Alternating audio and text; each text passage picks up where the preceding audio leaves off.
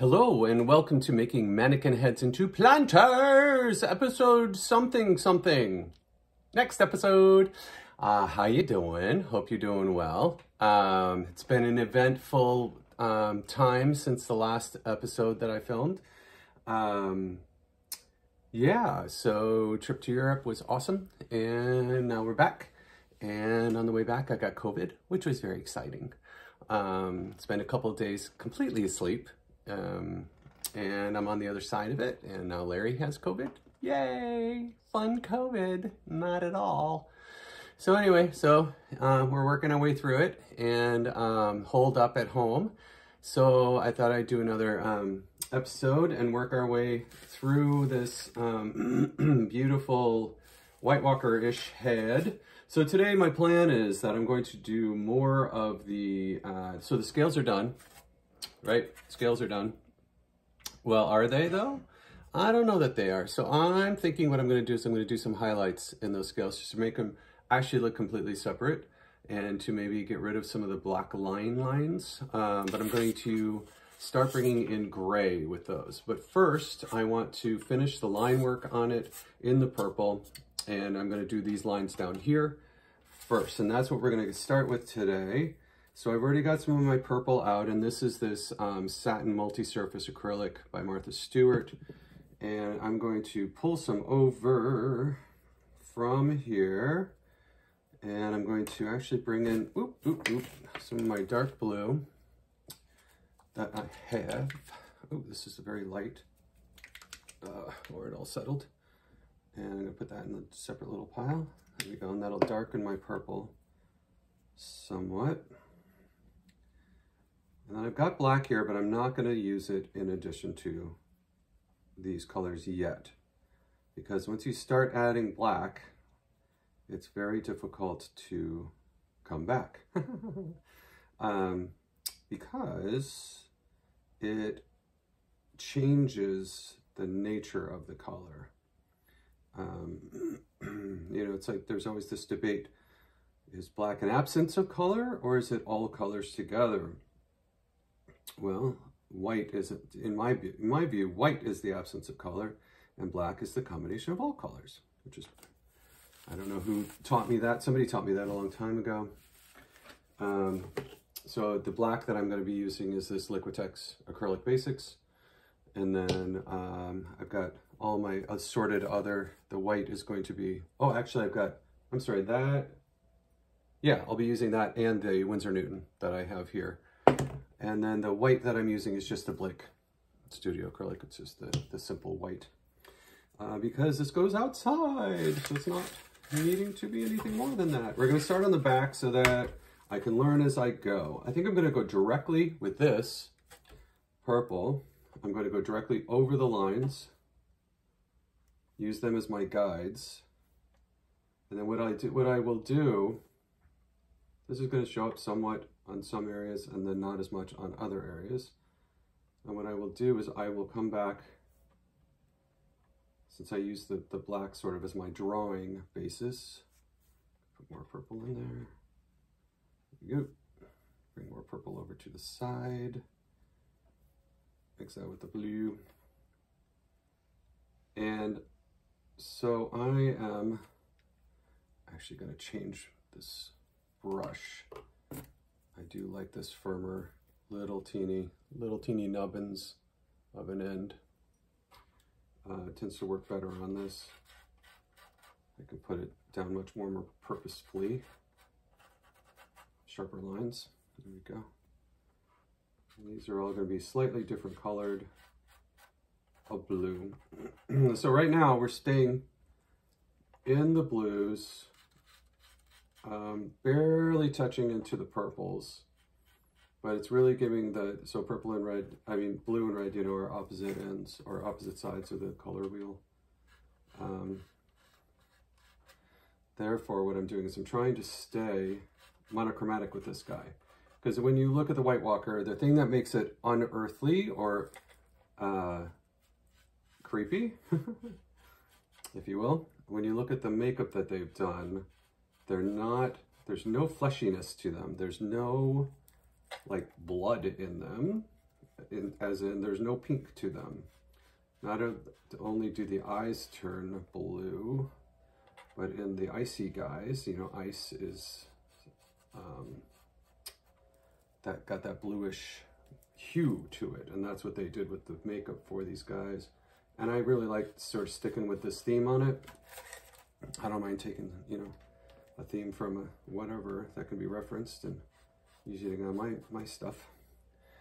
But so that's why I'm sticking to this, um, this using blues and purples. Keeps it all sort of monochromatic feeling. now, as I work my way around this, like I said, I've got different colors. And since I've got that nice undercoat, the very fundamental base coat on here, I'm going directly over the black lines, as I mentioned, that I did with my marker. I used a, Sharpie. If you didn't see the episode, you might want to check it out. The last episode, um, I think was the one where I did these lines coming down through and um, marked out and then or painted all of these scales with the first coat um, of the scales. There we go. And these are lines that where I, what's the purpose of these lines? I want to draw the eye through and down. I want to give it sort of this motion this sort of swirly feeling to it. I'm not quite as swirly as that, but I'm more of a, of a, where is your eye going? I want to tell your eye where to go. So a lot of people, when they're painting, a lot of really good artists will tell you, and I'm not a really good artist, but I will tell you because I've heard from other artists who are actually really good artists, who know what the hell they're talking about, um, that uh, having sort of a wandering eye really draw is a drawback. So if your eye doesn't know where to go to, it's going to feel uncomfortable. Um, so that may actually be your goal, right, with your painting, um, that your eye wanders. So my large scale paintings, I want the eye to wander across the canvas. But I want to tell the, I want to give sort of a story-ish, if you will, while the eye is wandering. I want it to be able to easily slide. Uh, some paintings are very forceful. They make you look in one area. Somehow, you know, it's the magic of art, right? And um, they, they, or some others draw your eye into an area. Like there's something called, that I've always been fascinated with is chiaroscuro. So it's that contrast of uh, bright and dark, where it's like a hyper-focused um, method or style of painting, of um, art, that is one area will be really absolutely hyper focused, really, really brilliantly in focus. And that's the, the subject matter is incredibly brightly lit and um, incredibly detailed, super sharp. You see like the whole scene is about this one interaction, this, this one area, small area on the, or large area on the canvas. And um, the rest of it literally fades um, into black. it's really, I, I, just think it's it's fascinating. Uh, it's very effective to tell the, to like really brutalize the um, viewer into uh, seeing exactly what the painter wants you to see. So there's not multiple scenes going on normally. It's just one subject or one moment that's being depicted. And um, that is what you're supposed to look at. And it's kind of neat because like in the shadows in the background, it makes you really go, ooh, what's going on? You know, what is back there? I know that it, I understand it's not as important as what's going on in the foreground. Uh, that's not necessarily in the foreground, but um, in the focused area. But um, it, it, I just think it's really cool. It's a very creepy, can be a very creepy uh, style. And um, I couldn't tell you historically when it came to, you know, when it was popular and all of that, or when it was developed or who did it, but I, I knew that a long time ago in my, I took this really cool um, art class, art appreciation class when I was living in Salzburg. That was really very good. It was actually extremely well done. And, um, you know, that was one of those things where to get through the test, you had to memorize all these things that, you know, dates and painters and other artists and eras and blah, blah, blah, blah, blah. And I, I did it for the test, but of course I wasn't an art major, I was a music major. Um, and I enjoyed the class a lot. Uh, it was very, very interesting to see how things developed. You know, it was sort of a survey class, so it wasn't like in depth on any one area, but it was kind of cool to see how they evolved and stuff. And I did well in the class because I have, or at least I used to have, very good short-term memory to be able to regurgitate things. Thus my uh, ability, I think it's from having learned so much music and, you know, been able to immediately perform it, then not really have it in my long-term memory. Um, I used to joke with a friend of mine when I would sing her, a female singer friend of mine, would, and she was like, oh, have you sung this before? Because I can sight read music extremely, like freakishly well and quickly. And I'd be like, um, I don't know. I have no idea. I don't really remember music after I've sung it once. And if it's not true, I'll be like, oh, well, this seems familiar. But for me, a lot of times when I'm reading music, uh, I read it uh, every time I sing it. If I'm looking at the music, if it's not memorized, obviously. I'm looking at the music, I'm looking at it differently each time. It's kind of one of those weird things about my brain. It's hard to explain. But um, she thought I was kidding. I'm like, well, no, actually, really, like, I, I'm not sure. I may have sung this before, but I'm basically just reading this for the first time, as if it's the first time. She's like, oh, well, that's weird. How do you not remember if you were saying something? I'm like, well, I may have sung it twice, and it was like 20 years ago. I'm, I'm not going to be able to tell you. I don't remember. My memory does not work in a way like other people's that I know. Um, whereas I, I will remember some situations when they're like, oh my God, situation but otherwise my memory um, is very situational. In uh, non-situational, it is very um, in the moment.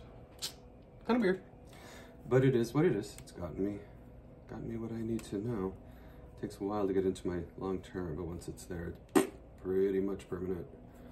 Um, every once in a while, I get a brain dump where it's like, yeah, and I don't remember any of that anymore. it's like, well, shoot. I remember, I remember knowing that, or I remember remembering that at some point in my life, but uh, I couldn't tell you what it was now. So, okay, so that's what I wanted to do with that. I like the, uh, the, the black outlined, so I'm just working, just playing with something here. Let's play with getting rid of these, just obfuscating the, the actual outline of this, and it kind of makes it much more subtle which, do I like that? No, because it's gonna be outside. I want it to be really obvious. So now we're gonna move into the next phase, which is what I was wanting to do. Uh, and good, I'm actually gonna do it. So now I'm gonna pull a bunch of black over to the side. And then I'm going to pull with a separate brush. I'm going to pull white into it. Why am I using a separate brush? I'm trying to keep the white white and not get it all smudgy with the black. And so I'm just wanting gray, obviously. That's why I'm putting white and black together. And so I'm sticking with this. Now, this is the first time I'm introducing anything other than the blue with a little bit of purple, right? So the purpley blue. This is going to be an experiment. I want to wet this down, lighten it up. It's kind of thick and heavy right now. Get some water in there. Uh, maybe I can make a little bit. All right, more watercolory. It's a nice thing about acrylics. You add water to them when they're wet and they almost, you can almost move them like a watercolor. Um, or at least a very, very, very, very light acrylic, light oil. You know, you can you can really change the the texture you're going with and how it applies. So I'm gonna again start in the back because most people will be looking at this from the front. And I want to, so I'm gonna put the line back around that because I don't like that. But I want I want to work on I was thinking highlights would be in the gray, but I'm wondering if it's going to come out actually dark. Maybe the outlines should be in the gray? Let's see. Let's try that on this. That would be weird. What do we do? What do you think there? I don't know. Let's try another one don't know about this. I don't think I'm going to use this brush because I want it to, I want something that will blend a little bit better around the edges. I do want something firm though. There we go. That's a good one. Let's try this little guy. Oh God. Wheel that. So one thing about brushes is that the tips, that's not a happy place to be. That's called You Go Into Trash. And I find another one that's like you in my box, box O brushes. There we go. This one should be cool. Um, I'm gonna go with sort of wedge head. Can you see that? Yeah, there you go. See that? Oh, oh, oh focus. There it is. And, oh, this one will be nice. Feels good in the hand, at least. So let's see if do, going over these outlines, if this is just overkill and kind of, why do I need to do this? I don't. Too much darkening. Yeah, that's too much dark. So, all right, I'm gonna go other direction. Let's turn this whole thing around. I'm going to give my, ooh, finger full of paint. I'm gonna go with a lot more white and just a little bit of black.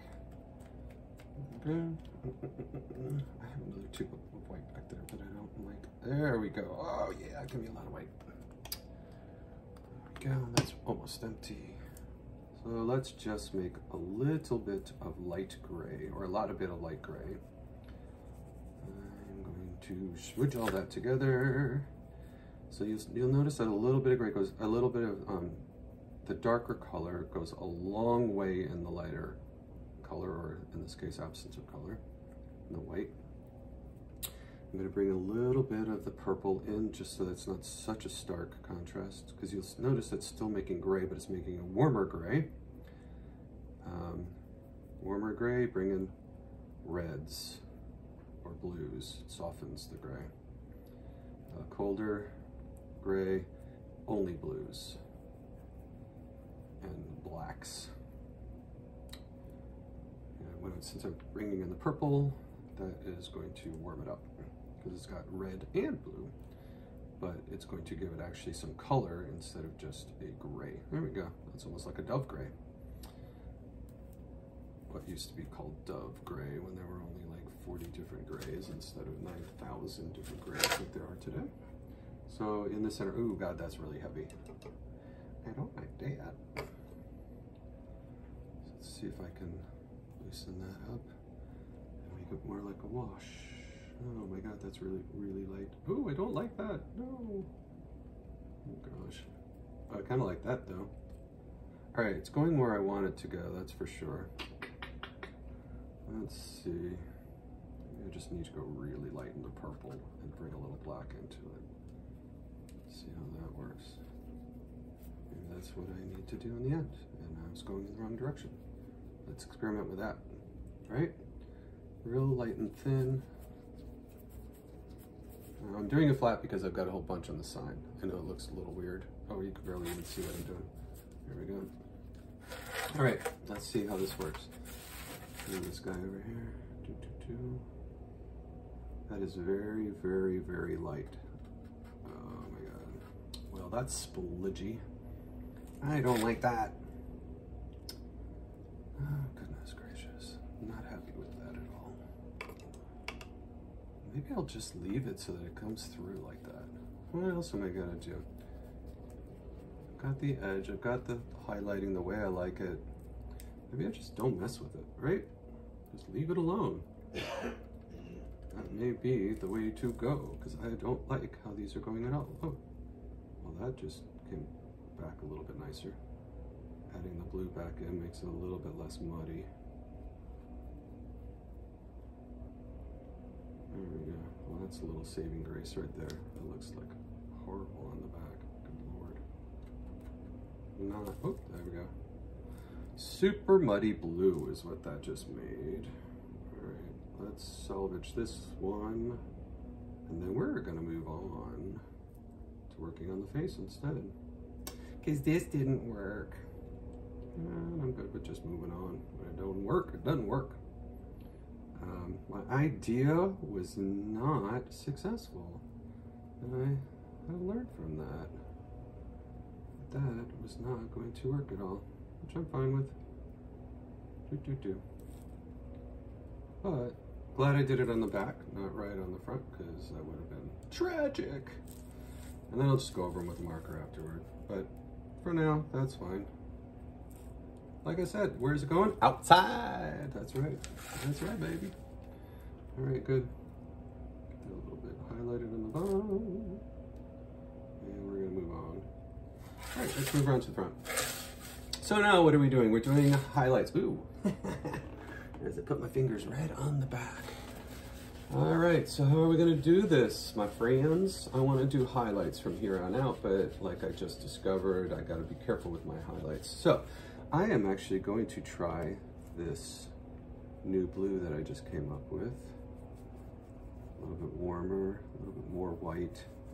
And I'm going to put it on right next to the darker sections.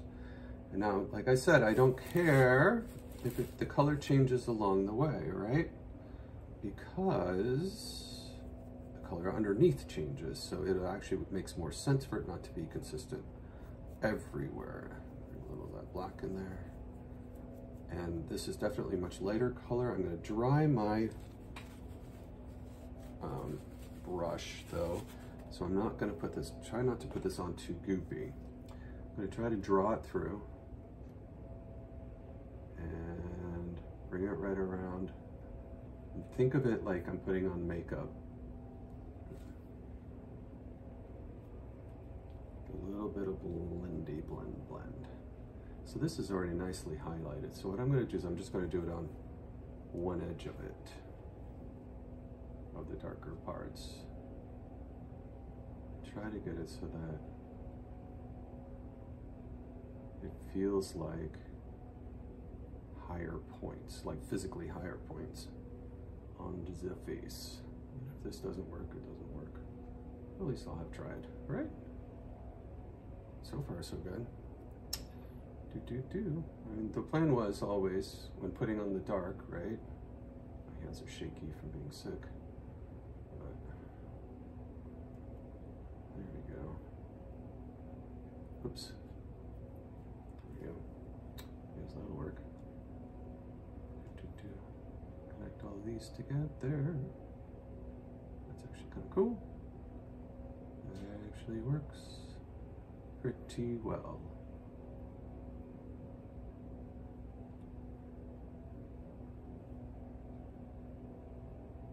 There, that's good. You may not see much of a difference right now, but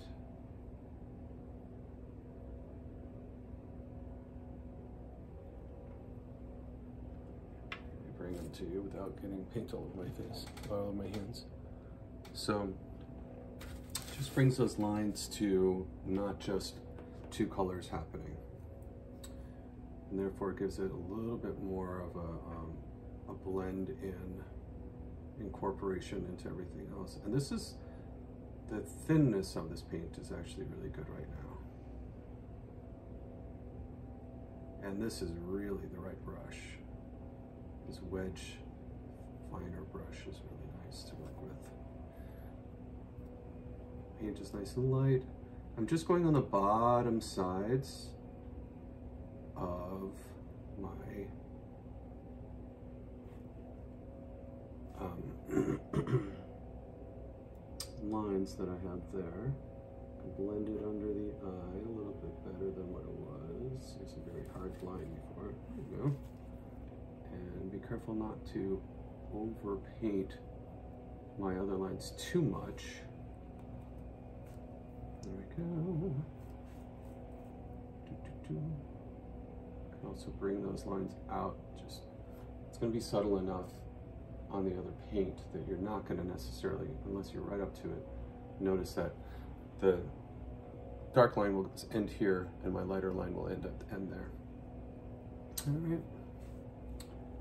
So, see how much I can get done in the next five minutes on this with you. Like I said, my hands are very shaky right now though, from being sick last few days. All right, that's good. Bring this all the way up and around. Now I'm gonna work down the center. Keep myself working down the center. Work on the bridge of the nose, bring this in and out.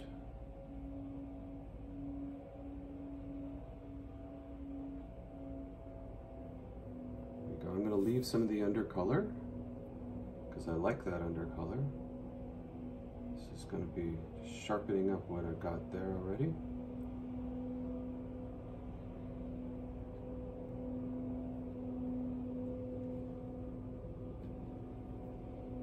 open up that eye.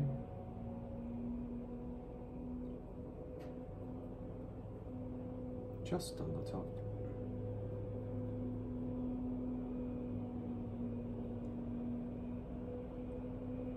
So the way that you wear that you use a wedge brush is, in my opinion, most effective way that I've found is you put it on so that the wedge is facing out and then you draw to the, the shortest bristles. So I put it on and I draw to the shortest bristles. Um, so my, I stroke. For me, it's easier away. For you, it may be easier to come toward you. Um, I go, I do definitely go both ways with the brush, with the bristles, if you will. Um, whatever's more comfortable, obviously. And then what I want to do is I want to really thin this, and I'm going to blend this in the eyes.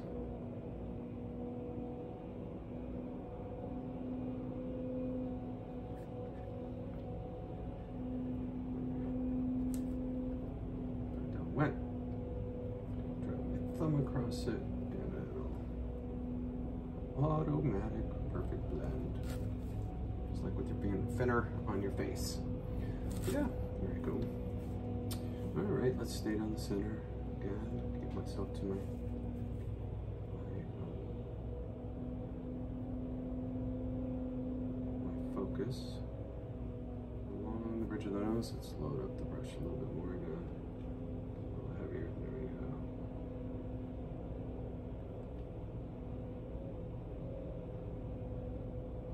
So I'm always using the flatter part of the of the wedge, if you will. I do like wedge. You can get really good edging, sharp lines with that um, angled edge. I don't know if they call it a wedge. That's just what I call it. Um, brush, angled brush, and um, it's just it's a nice feeling that you can draw very nice lines with it paint very nice lines. Draw. Paint very nice lines. Uh, there we go. Oh yeah. Those are good. And I am loading up both sides of my brush because that's just how I prefer to work. You can experiment. You should experiment as to what you prefer kind of cool is with this, I'm finding that I can really clean up some of the heavy-handedness that I had with that blue with after the marker. Um, especially because of the nature of this brush. There we go. Work on this side. Do the same thing. Bring that gray right through. It's a nice gray. All right, my friends. Well, I'm gonna let you go, and um, I am going to see you all later because I am out of time for this session. Just a few more lines. I know I could go on forever just painting, painting, painting. It's so much fun. So satisfying. Um, but I do put a time limit on these. I know that I usually fail, but in this case, I'm going to stick to it. I do have this really great color that I'm working with right now, but now I know how to get to this color.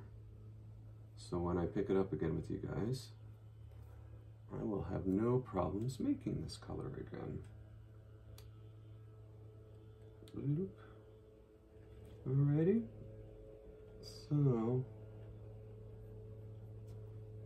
oh, this is cool. Very, very, very satisfying. Right. Right around, right in the temple. Nice, beautiful.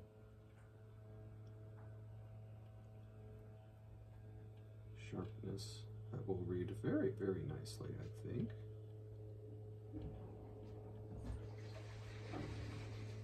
Working very nicely. And. And it seems to be blending into the other colors very, very well. Okay, so have a wonderful day. I will see you in the next episodes. Um, maybe I'll tell you a little bit more about our trip. It was spectacular. I do have some recommendations of where to go. Prague, I'm going to tell you right from the beginning. Prague, fabulous city. Um, Budapest, really, really cool city. Uh, very, very intriguing. Uh, interesting time of year. So these are my main takeaways. Interesting time of year to go. Uh, November. After living through that, through November's in that area, um, it's interesting as a as a visitor to experience that because it's like, how the hell do you pack? you know? Hey, we get challenging. Uh, many layers is what we found out. We, and it took us a little while um, to figure out what kind of layers, but uh, we figured it out. So that's good. So that extra layer, that another, that um, added color gives it a much better texture, makes it a little, it softens it, and then we'll go through with one more set of color and uh, that'll soften it even more and we'll be done. All right, my friends, have a wonderful day and uh, treat yourself well, treat everybody else well. Um, I know um, a lot oftentimes doesn't feel like people are deserving of being nice to, but you know what, do it for yourself. Even if, you know, it's the kill them with kindness. Um, and I do believe it's, it's hard to get to that place a lot of times, most of the time. but it's worth doing. And, um, it's a good challenge to undertake. Uh, I fail at it a lot, uh, but I succeed at it a lot as well um, because I try. So I encourage you to try. Um, you can't succeed if you don't try, and you can't fail if you don't try. And that's kind of a bummer place to be. So stay on the edge. I don't know what that means. so have a wonderful day. Put more love out in the world. There's not enough love in the world. Thank you, Sir Elton John. And take a big breath in.